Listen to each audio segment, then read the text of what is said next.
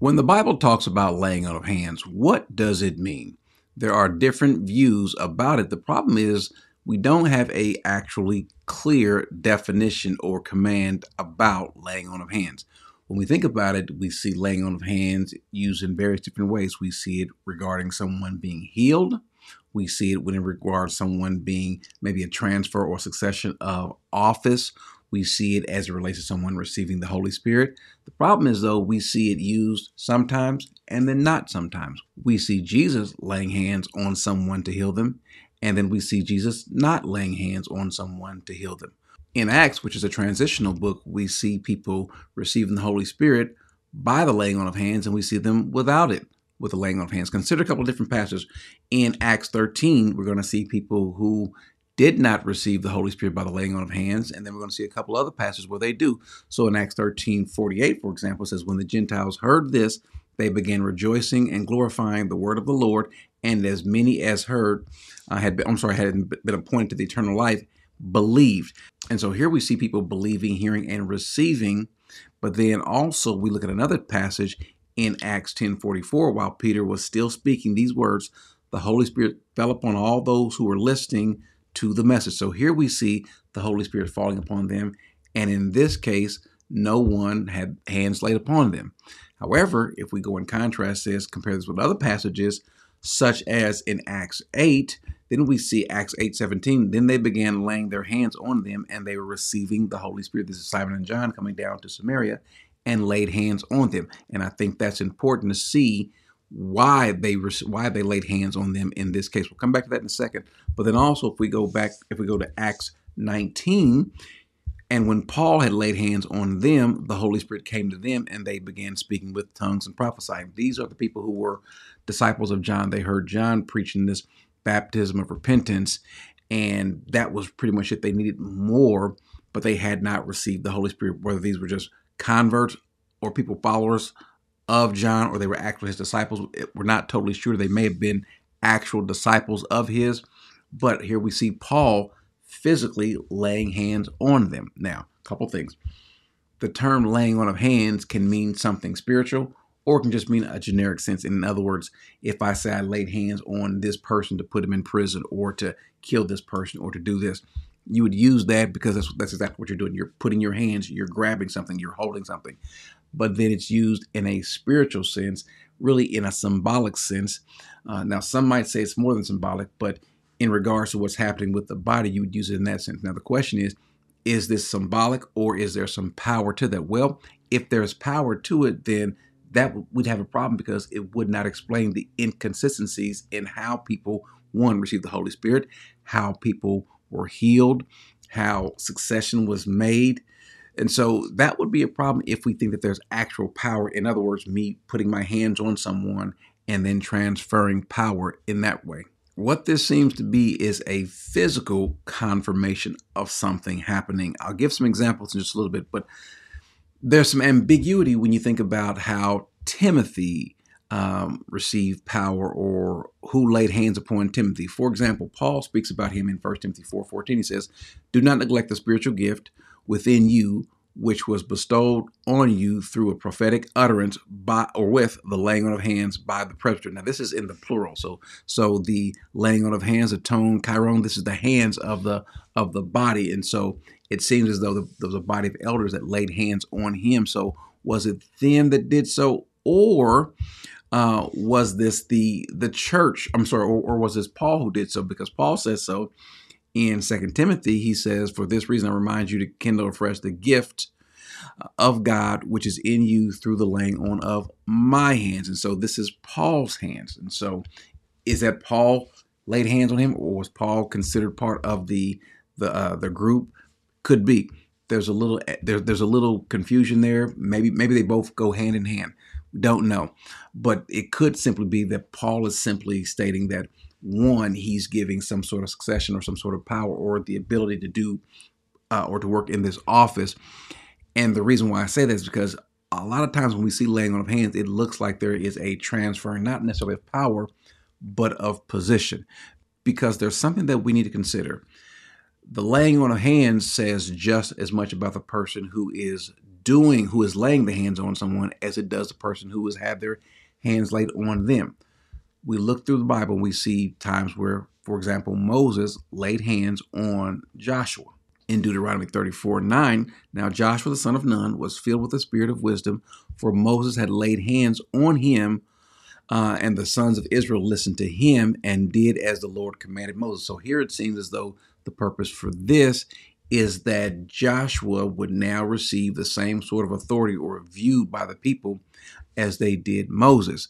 Otherwise, how would they know? They didn't. They didn't. They wouldn't be able to see. Now, obviously, they would see power or signs happening at the sign of Joshua, but they didn't see signs at the hand of Joshua initially. And so this could be the reason why them literally physically seeing this happening. Think about it this way: if at a church there were uh, there was a new elder installed uh, or new elders, would it suffice just to have an announcement? Or is it conveyed even better if you actually see other elders or the pastors laying hands on physically, putting their hands on the person and praying? The message I think is sent a little bit stronger. And I think that's probably what we're looking at here. So when Moses physically lays hands on Joshua, then Joshua is seen is known by the people to be taking over for Moses. Moses is getting old, and so that's what's happening. Just like in Acts 6, we see there's this complaint that arises between uh, the people in the body, the Hellenistic Jews, uh, against the native Hebrews.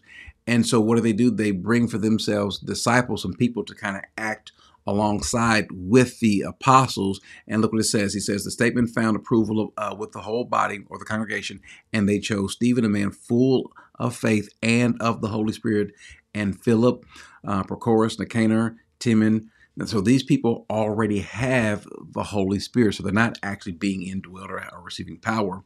But notice what it says, and these they brought before the apostles, and after praying, they laid hands on them. And so now we can physically see that these people are being confirmed by these apostles as people who have some responsibility, some sort of delegation from the apostles. So people will listen to them and hear uh, their complaints on behalf of the people. So here we see an example of laying on of hands just simply being something symbolic. In other words, you giving validity, validity or approval of or to these people, you kind of granting power again, some sort of succession or some sort of exchange or continuity between this person to the next person.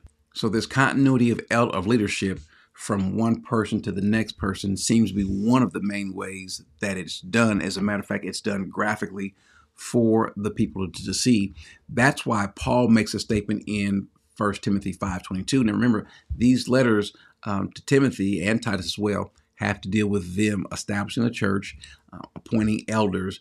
And so we see him saying to Peter, I mean to Timothy, Paul is saying, so do not lay hands upon anyone too hastily and thereby share responsibility for the sins of the others. Keep yourself free from sin. That's why I said earlier, it's not just about the person who's having hands laid on them, but it also says something about the person who's laying hands, who's doing it. So the person who's laying the hands and the person who's having the hands laid upon them, it says the same. And so the the same sort of way that you would look at this person who is laying the hands is how you ought to look at the person who's receiving the hands being laid upon them.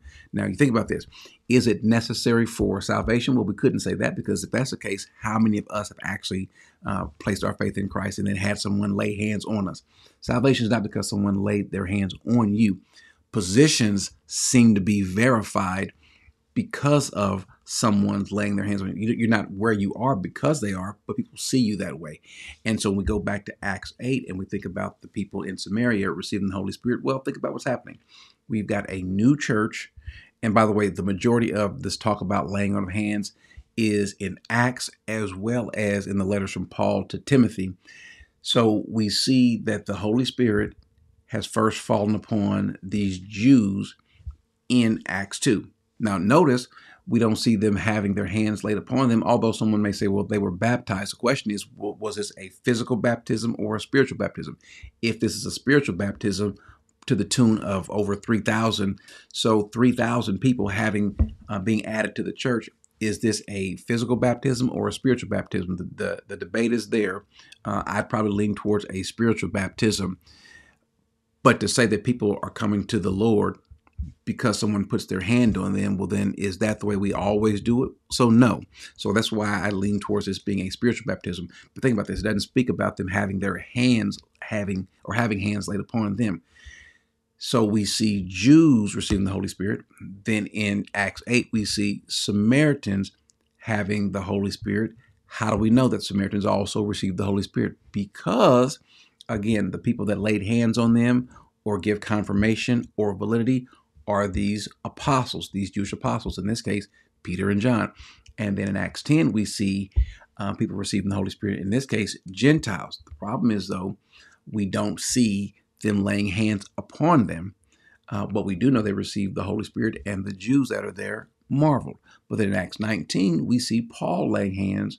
And so we see uh, them also being counted as part of the body. And so there's still some inconsistencies. So when we go to Acts, I'm sorry, Acts, we go to Hebrews 6 2. Matter of fact, let's start in verse 1. He says, Therefore, leaving the elementary teachings about the Christ, let us press on to maturity, not laying again a foundation of repentance from dead works and of faith towards God, of instructions about washings and laying on of hands and the resurrection of the dead and the eternal death. So this part right here, uh, laying on of hands, is used here so is this to say that we we need to lay on of hands and lay hands on who and when?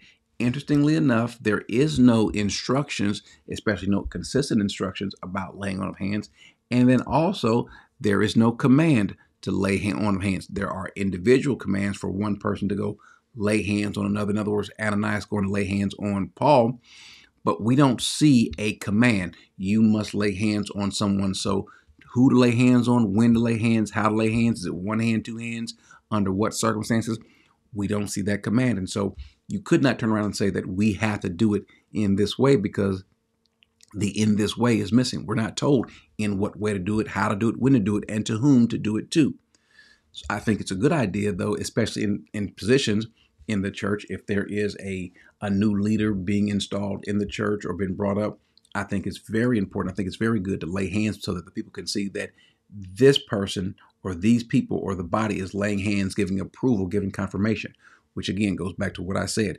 The laying on of hands says just as much about the person whose hands are being laid on as the person who is laying the hands. You are saying, we give credence, we give validity, we validate this person, and we're in essence staking our name on it. Ultimately, though, the power that would move this person comes from the Lord. And if it were that it had to be laid on the hands of everyone to one receive the Holy Spirit or to um, be saved or to be healed, well, then we have a problem. Because one, that's not consistently in the scripture, but two, that is an awful lot of laying on of hands. The number of people that have come to Christ um, the overwhelming majority did not have someone actually touch them and lay hands on them to say that I signify or validate that you are a Christian. Why? Because you couldn't do so. You could not validate that this person is a Christian. So, me laying hands on you and saying you are a Christian, well, then now, one, if I'm wrong, I'm wrong, and my name and reputation would be at stake. And then two, uh, it doesn't help you, even though I said so. So, I hope this helps. I hope this kind of gives an understanding of the laying on of hands uh, in the Bible. As a matter of fact, early in the church, we would see this done, this practice continue. It would be done sometimes, most of the times, physical. There are some times it would also, it's also done kind of not with an actual physical hand, laying on of hands, but us just kind of giving um, our validation, saying that these are the things that happen, and so we're laying our hands on you. Not necessarily a physical laying on of hands, but um, speaking so metaphorically, but just giving our approval. However, the most important thing is the fact that what laying on the hands is and that it is not a command. Again, we cannot find a command. And so, uh, if a person wants to lay hands on someone, uh, there's nothing wrong with that at all. Uh, you would do so on a case by case basis. But again, as we're told, be careful who you lay your hands on, be, be careful who you give confirmation to or out of your mouth. Be careful who you tell someone else is approved. Be careful uh, of who lays hands on you and be careful of who you lay hands on. Amen.